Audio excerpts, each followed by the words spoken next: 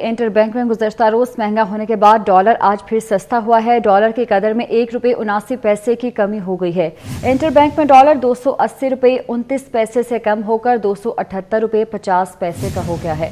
अशरफ खान से तफसला जानते हैं। अशरफ खान, बताइए एक बार फिर। जी देखा जाए गुजशत दो रोज जो है डॉलर महँगा हुआ, उसके बाद आज फिर जो है एक्शन होता हुआ दिखाई दे रहा है। इंटर बैंक में अमरीकी डॉलर जो है एक रुपये उनासी पैसे सस्ता हो गया। इंटर बैंक में डॉलर दो सौ अस्सी रुपये उनतीस पैसे से कम होकर दो सौ अठहत्तर पे पचास पैसे तक गिर गया माशी माहरीन का कहना है कि जो दो रोज डॉलर महँगा होता है, उसकी बुनियादी वजह ये थी कि दरामद बल था। लेकिन पाकिस्तान में जो सितंबर में चार अरब डॉलर मालियत की दरामदाद थी उसकी अदायगी हो रही थी, जिसकी वजह से प्रेशर देखा गया था।